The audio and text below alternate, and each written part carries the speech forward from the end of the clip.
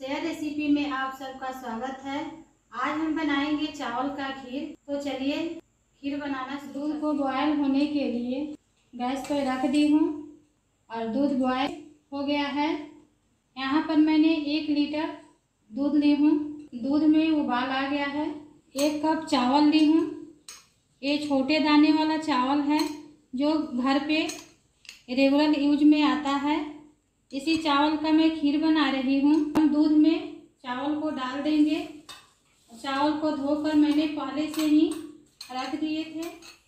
आप चाहे तो किसी भी चावल का खीर बना सकते हैं, लेकिन छोटे दाने वाले चावल का खीर बहुत ही अच्छा बनता है। तो एक बार ज़रूर ट्राई करें। और तीन से चार मिनट के लिए चावल को पकने देंगे। ये छोटे वाले कप से एक कप मैं चावल ली हूँ। बीच बीच में चलाते रहेंगे। अब हम इसमें चीनी डाल देंगे। जिस कप से मैंने चावल लिया था, उसी कप से चीनी लिए हैं।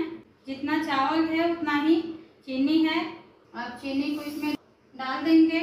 चीनी आप अपने टेस्ट के अकॉर्डिंग ले सकते हैं। यहाँ पर एक काजू कट करके रखी हूँ। इसे भी डाल दे रही हूँ। किशमिश है। इलायची को कूट करके ले ली हूँ। इसे भी डाल देंगे। अपने अनुसार ड्राई फ्रूट डाल सकते हैं। और इसे अच्छे से चला देंगे। चीनी डालने के बाद दो मिनट और इसको पकाएँगे। खीर बन गया है। आप देख सकते हैं कितना अच्छा खीर बना है।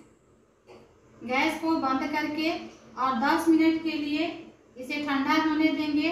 उसके बाद हम खीर को सर्व करेंगे। 10 मिनट के बाद देखिए, खीर कितना अच्छा गाढ़ा हो गया है। अब हम इसे एक सर्विंग बाउल में निकाल देंगे। यहाँ पर हमने एक सर्विंग बाउल लिया है। अब हम खीर को इसी में निकाल लेंगे। आप देख सकते हैं कितना परफेक्ट खीर बनकर तैयार हो गया है। इस प्रकार से बनाया हुआ खीर सभी को बहुत ही पसंद आएगा। एक बार ज़रूर बनाइए और खाइए। और से गार्निश कर देंगे। इस प्रकार से आप भी ज़रूर बनाइए। बहुत ही टेस्टी बनता है खीर। कितना गाढ़ा खीर बना है।